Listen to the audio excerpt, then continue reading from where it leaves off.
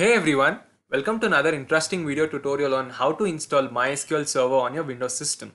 So in this session, uh, we'll go through the complete installation process of MySQL Workbench as well as MySQL Shell, which is basically a command line used to create tables with the help of SQL language. So without any further delay, let's get started. But before we begin, make sure you have a good internet connection so that at any point you won't find any issue or difficulty with the installation process. So let's go ahead and start with the installation. Firstly, go to Google and type MySQL. You'll find MySQL official website page on the search result. Click on that. Once you reach their official website page, uh, you'll find download section. Click on that. Now scroll down a bit and you'll find MySQL Community GPL downloads. Click on that link. Now you'll find various options for download such as various uh, repositories, uh, MySQL Shell, MySQL Workbench, etc. But since we are installing it for the first time on our Windows system and we are only concerned with the MySQL Workbench and Shell, uh, we'll go with MySQL installer for Windows. Click on that link. Now you'll find two options for download. Uh, the first one is Windows 86 32-bit MSI installer. It is showing here 32-bit, but it will uh, work for 62-bit systems as well. So don't worry. And you can choose either of the two. And I'm going with the first one. Click on download. Now you'll find this page where you'll have uh, login and sign up uh, for the Oracle account. For time being, just ignore that and click on no thanks, just start my download. Save it on your system. Once it's downloaded, uh, open the file.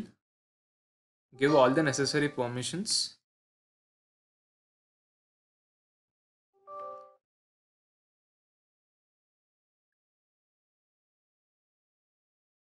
Now you'll find a setup page uh, where you'll have different options uh, such as developer, server, client, full and custom. Uh, we'll choose custom because we want uh, MySQL Workbench and MySQL Shell. So click on next. Now we have to select the products which we want to uh, install on our system. Uh, you can find MySQL Server, click on that and expand it. You'll find MySQL Server 8.0, click on that. You'll find the latest version of it, click on that and uh, select the arrow and send it to the other side. Now scroll down a bit and uh, you'll find applications, click on that. You can see MySQL Workbench, expand it and you'll find the latest version of it as well. Click on that and uh, click on the arrow and send it to the other side. Scroll down a bit and you'll find mysql shell as well. Click on that. Expand it. Select the latest version.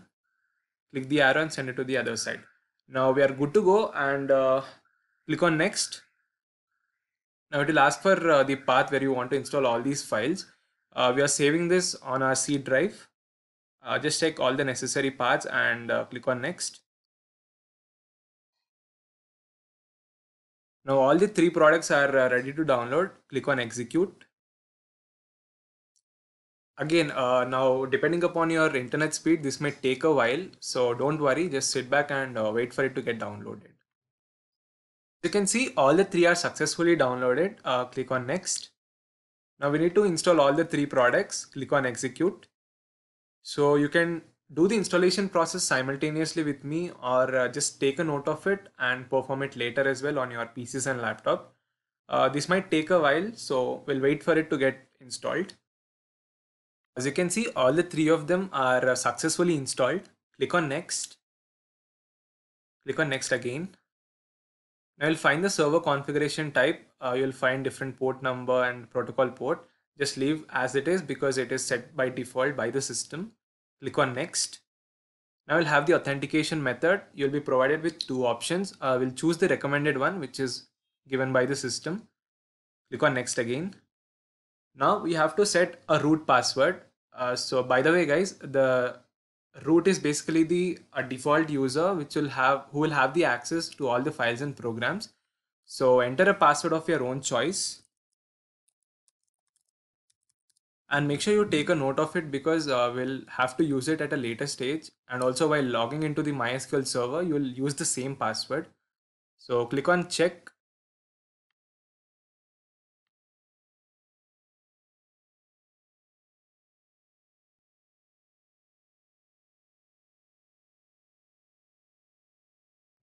So as you can see, there's a blue tick mark, which means it's verified. Uh, so you can go ahead, click on next. Now you'll find the Windows service, which is the standard system account. Choose that and click next. Now you have to apply all the uh, configuration for the system files. Uh, for that, just click on execute and the system will uh, automatically con configure itself.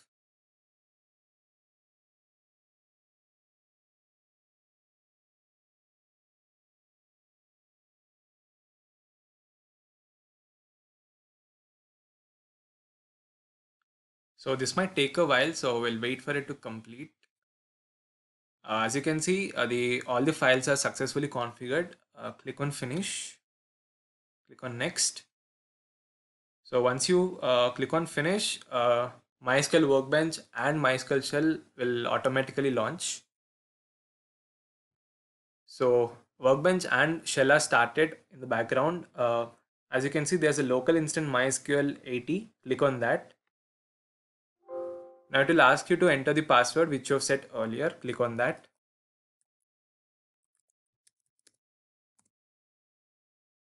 So that's it guys. We have successfully installed MySQL Workbench on our system. But uh, before you get started, there's another little process that we are with that we are uh, left behind with. Uh, now you have to connect all the files and packages to the server before you start working on the tables. So for that, we need to locate where the, where the MySQL files are stored. For that, we'll go to File Manager. Since we have saved the uh, files on local disk D, local disk C, uh, click on C drive, go to Program Files, click on MySQL, open MySQL Server 8.0, click on bin. Now these are all the files and packages that you have to connect to the server. For that, uh, double click on uh, location path, copy the whole address and open command prompt. On the command prompt, you'll have to type cd, that is the current directory, and uh, paste the address that you have copied earlier and click enter. Now type mysql space myu root minus p. Here minus u is the user, which is the root user which we have taken. Minus p is the password. Click on enter. Now it will ask you to enter the password that you have set earlier. Type the same. So if you find uh, what you're seeing in my system, that is Oracle is registered trademark of Oracle Corporation and all this thing, that means you have uh, successfully downloaded and installed all the files and uh, packages into the MySQL server and you're good to go and start working on your tables right away. That's all for today's session everyone. I hope you found this video helpful and informative. If you have any queries regarding the whole installation process or if you're stuck at any stage while installing MySQL Server on your system, feel free to let us know in the comment section below and our team of experts will guide you and help with all your queries at the earliest.